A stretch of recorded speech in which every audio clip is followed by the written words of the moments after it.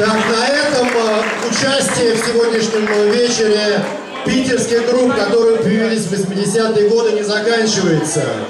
Сейчас я немножко расскажу о, при, при, как э, представлен на лейбле «Геометрия» известный вам Михаил Барзыкин и его группа «Телевизор».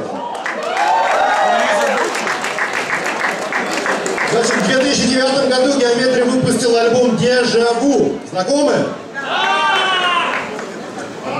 Вот, э, значит, э, хочется отметить, что телевизор и Михаил Барзыкин это единственная группа, которая выходит на лейбле геометрии, но сегодня не участвует в концерте воплоти, потому что у ребят завтра, 3 числа, в Питере концерт.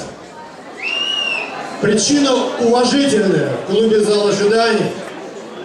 Вот, но есть шанс их увидеть 9 в Москве в клубе Б2.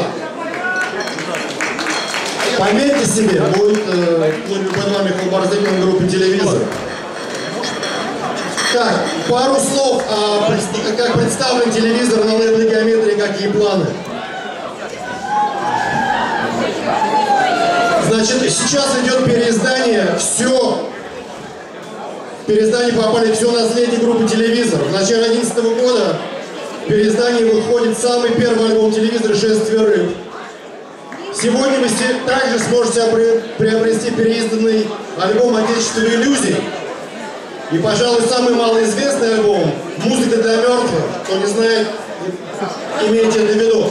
Все эти диски сегодня уже можно приобрести в холле нашего клуба. Вот.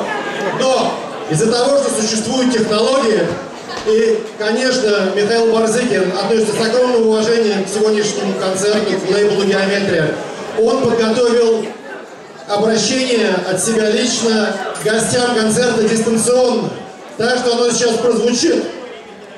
Все, можно включать.